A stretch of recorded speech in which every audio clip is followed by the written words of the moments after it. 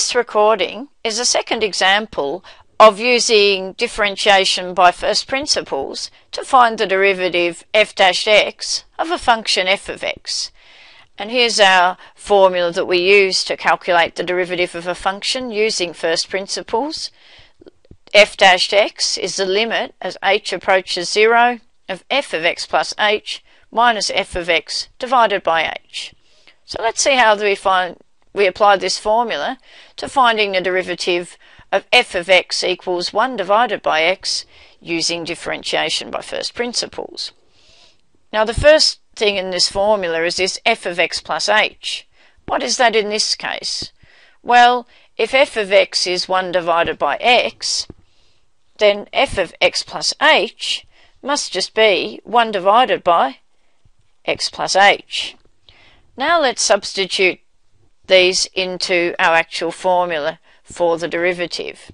So f dashed x equals the limit as h approaches 0 of f of x plus h minus f of x divided by h.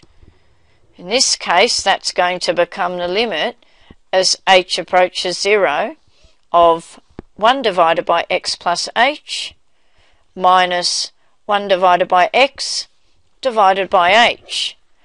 Now this doesn't look too easy to evaluate at this stage, so we need to find a way to simplify this so that we can evaluate this limit and hence find our derivative. Can you see any way to simplify this? I'd say looking at this expression, we have a couple of algebraic fractions on the numerator.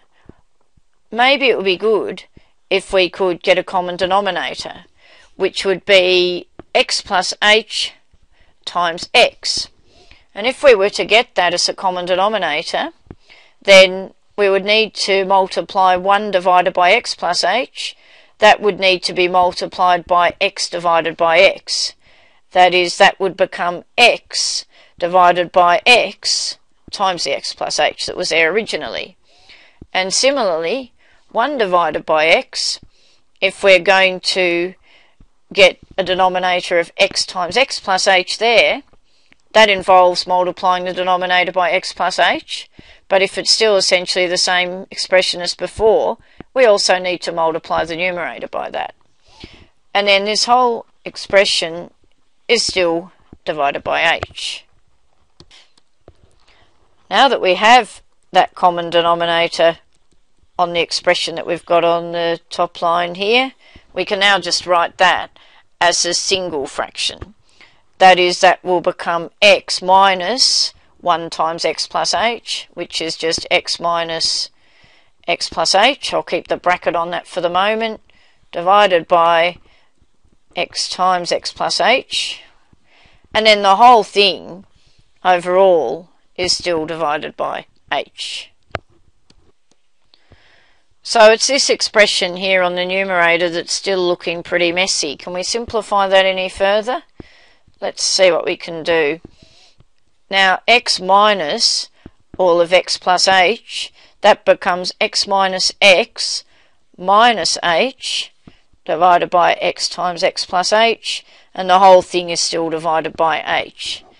Now that's starting to look a bit better now because x minus x is just 0.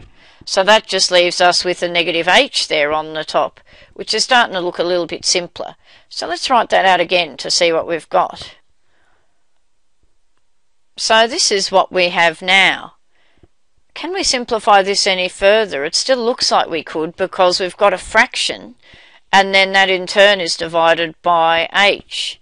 So there's a couple of ways we could think about how to simplify that. I'll just put a bracket around that for now. And one way you could look at this is think of h as h divided by 1. And if we do that, we have something of the form a on b divided by c over d. And when you have a fraction divided by another fraction, it's just the same as the first fraction here multiplied by the reciprocal of the other one. So that will help us to simplify some more because it then means this will become negative h divided by x times x plus h multiplied by the reciprocal of h over 1, which is just 1 on h.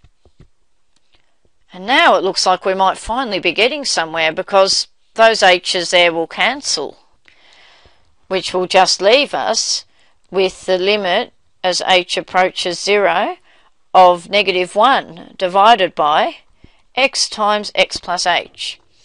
And this is now in a form where we could actually evaluate this by substituting in h equals 0.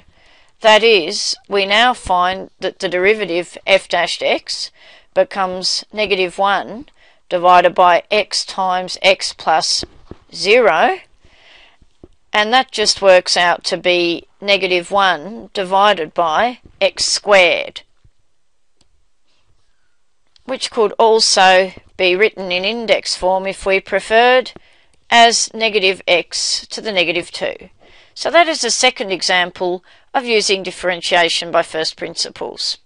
Again, being able to simplify the expression until it's in a form where we can evaluate the limit at h equals 0. That is the key strategy we're using here.